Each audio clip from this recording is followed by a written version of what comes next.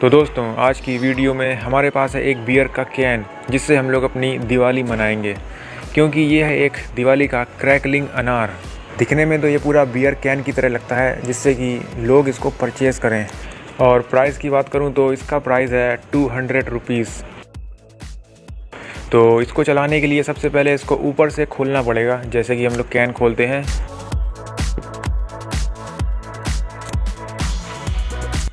तो चलिए फिर चला के देखते हैं।